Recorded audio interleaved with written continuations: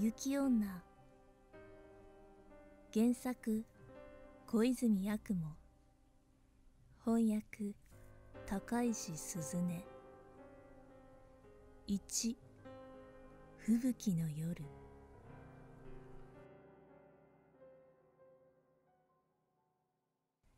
武蔵の国のある村に模索と美濃吉という二人の木こりがいた。この時の模索は牢屋で美濃吉は模索のところに年季奉公に来ていた18の若者であった。来る日も来る日も二人は一緒に村から遠く二里ほど離れた森へと出かけた。森へたどり着くには途中大きな川を渡らねばならなかった。渡し船がある場所には何度か橋が架けられたが洪水のたびに流されてしまった。その川は水かさが増すと一通りの橋では耐えられないほどの大河であった。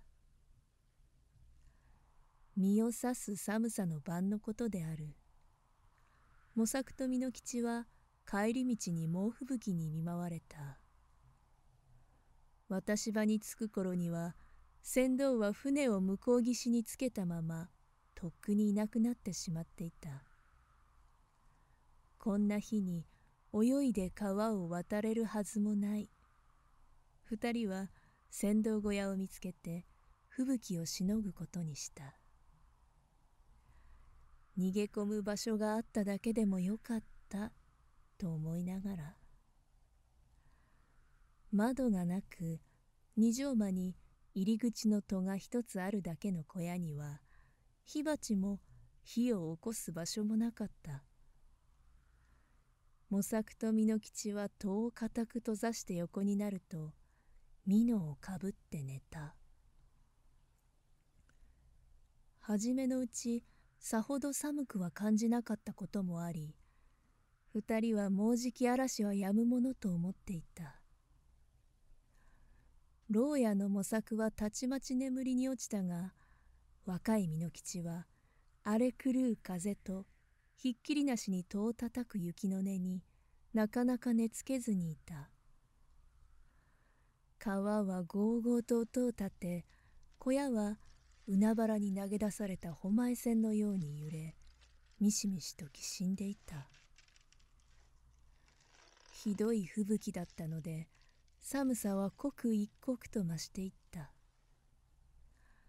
美濃に隠れて震えていたがやがてそんな寒さの中でさえ美濃吉は眠り込んでしまった。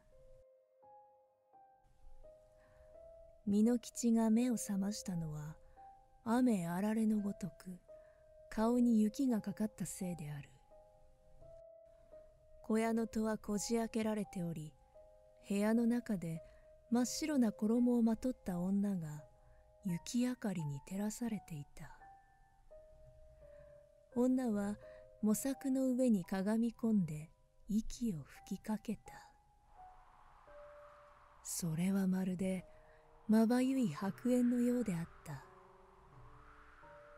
ほどなく女は美濃吉の方に振り返り覆いかぶさってきた。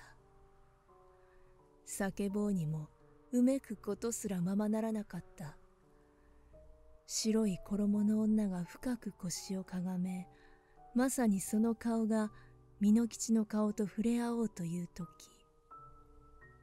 彼は女の目に怯えながら思った。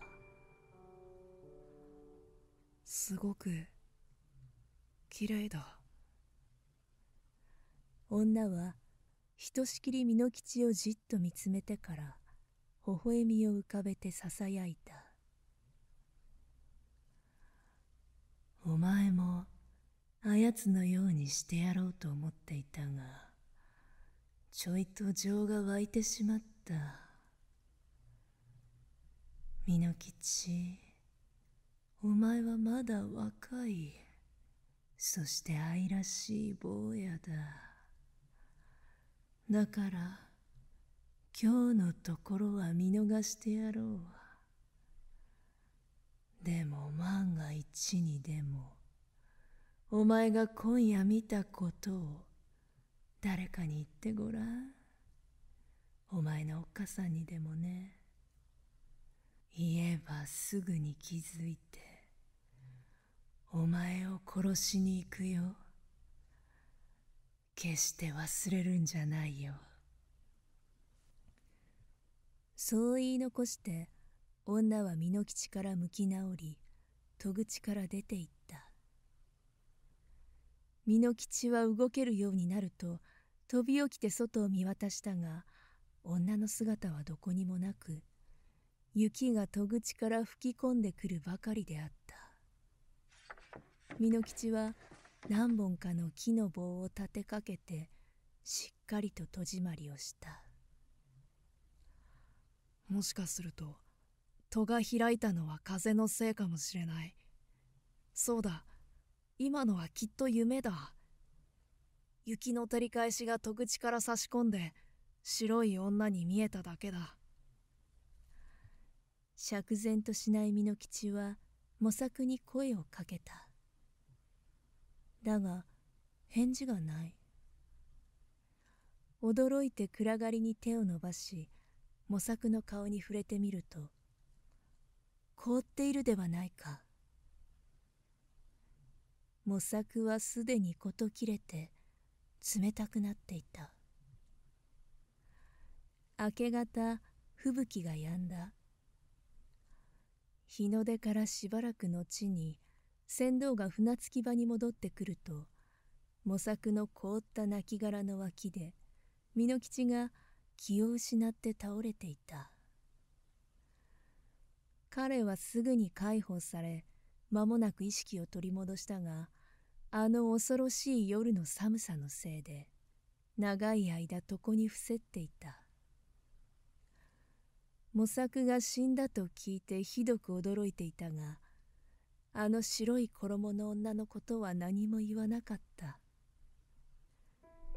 美濃吉は元気になるとすぐに仕事に戻り毎朝一人で森に出かけては夕方に薪を背負って帰ってきた。美濃吉の母は売り子をして息子を助けた。2夫婦。翌年の冬の晩家路の途中偶然にも同じ道を歩いている旅の娘に会った。娘は細身で長身かなりの器量よしの上に美濃吉が挨拶した時の返事ときたら小鳥のさえずるような心地よい美声であった。二人は道中を共にするうちに言葉を交わすようになった。娘は名をおゆきと言いしばらく前に両親を亡くしたこと。女中奉公のつてがあるかもしれないのでいくつかの貧しい親戚を頼って江戸に向かう途中であることを話した。瞬く間に美濃吉はこの出会ったばかりの娘に心を奪われてしまった。その美しさは彼女を見つめれば見つめるほど増していくようであった。お前さん言い名付けはいるのかい？まだそのような話はございません。時にあなた様は奥方や言い名付けがいらっしゃるのですか？夫さんはもういねえからおっかさんを養ってやらなきゃならねえ。でもかみさんをもらうにはおいらもまだ若えからそんなこと考えたこともなかった。こんな身の上話をした後長い間二人は黙ったまま歩き続けた。気があれば目は口ほどにものを言うとはよく言ったもので村に着く頃にはお互いにすっかり打ち解けていた。そして美濃吉はおゆきに言った。しばらくうちでゆっくりしていってくれないか。おゆきは少し照れながらためらっている様子であったが、美濃吉と一緒に家に帰った美濃吉の母はお雪が来たことを喜び温かい食事でもてなした気立ての良さをすっかり気に入った母は江戸への出立を先延ばしにするようお雪にせがんだ。その後お雪が江戸へ向かうことがなかったのは自然の成り行きで彼女は美濃吉の嫁となった。お雪は本当によくできた嫁であった。彼女が来てから5年ほど後美濃吉の母は今和の際にあったがその後に及んでもお雪への愛情と感謝を口にしていた。美濃吉とお雪は男女合わせて10人の子宝に恵まれた。子供たちは皆見目麗しく透き通るような肌色をしていた。村人はお雪のことを自分たちとは根っこから違う超越した存在だと思っていた。百姓の女は早いうちに老け込んでしまうことが多いがお雪は10人の子供の母となった後も初めて村にやってきたあの日と変わらず若く清らかなままであった。3昔語り。ある夜のことである。子供たちが寝静まった後おゆきは安どんの光の下で針仕事をしていた。すると美濃吉は自分の嫁をしげしげと眺めながら話を始めた。お前が安どんの光に照らされてこうして針仕事をしているのを見ると思い出すんだ。おいらがまだ18の若造だった頃に不思議なことがあったんだよ。その時見たんだ。お前みてえにとびきり色白でべっぴんの。あれは本当にお前と瓜二つだったよ。するとおゆきは針仕事の手を休めることなく聞き返した。へえその人のことを聞かせておくれよ。どこであったんだい？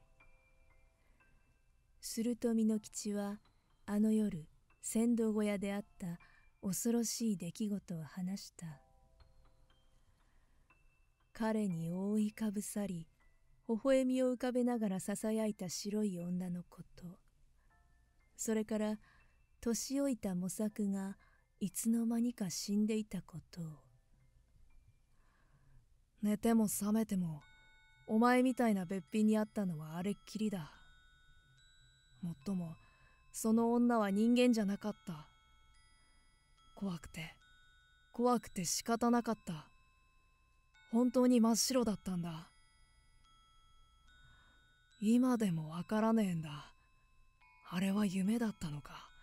それとも雪女だったんじゃないかって。お雪は縫い物を投げ捨てて立ち上がり座っている美濃吉の頭上から覆いかぶさるようにして叫んだ。あれは私私なのよ。私だったのよ雪よ。あの日のことを少しでも人に話したらお前さんを殺すと言ったでしょう。あそこで眠っている子供たちがいなかったらすぐにでもお前さんを殺していたわ。でもそうしたらあの子たちの面倒を誰が見るんだい？万が一にでもお前さんがあの子たちを困らせることがあったらその時は決して容赦しないから。お雪が叫んでいる間にも声はどんどんか細くもがり笛のようになってゆくしまいにはおゆき自身がキラキラ光る白いもやとなって天井の梁を伝い震えながら煙出しの穴から出ていった。それからというもの女の姿を見た者はいない。